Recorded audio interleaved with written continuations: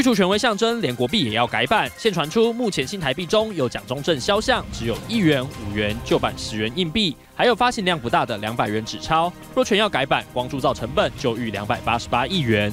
央行自己说，如果要换换钞的话，要五百亿。年轻人一个月可以给他多一万块，一年呢，我们就可以一年十二万，我们就可以帮四十万人。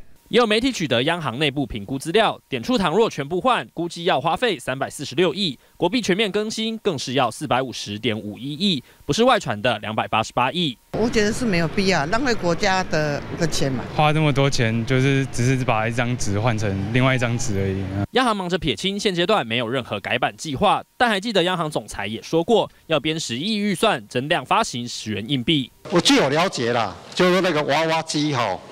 娃娃机的那个，哎，非常顺行。社会有需求的时候呢，我们就一定要应啊应社会的需求而啊增加它的发行量。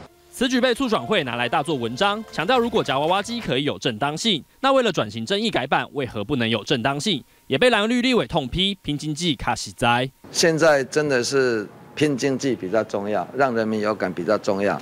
那对于去除威权象征，我觉得可以慢一点。不用急。这一次的东厂事件呢，哈，是重伤了民进党。处长会到现在还不知检讨，哈，是用报复式、报仇式的的正义。一场换币风波引起政治口角，但小老百姓还是比较在意能不能吃得饱。东森财经新闻，余群黄富祥台北报道。